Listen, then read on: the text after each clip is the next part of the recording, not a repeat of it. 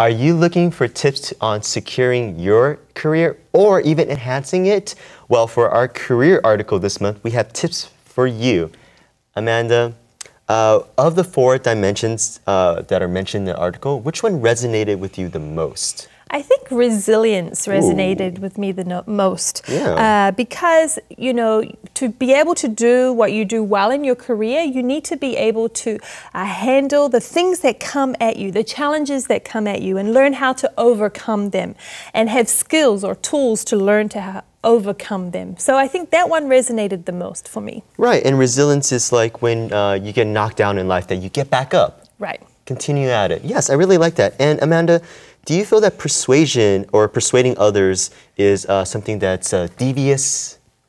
Well, it depends on your motive, mm-hmm. I think. Uh, if you're going in there with a bad motive, then yes, perhaps it is devious. Uh, but it is also a skill to learn how to uh, get people to understand your opinion and also perhaps to agree with your opinion. So, again, I think that depends on your motive. I agree with you, Amanda.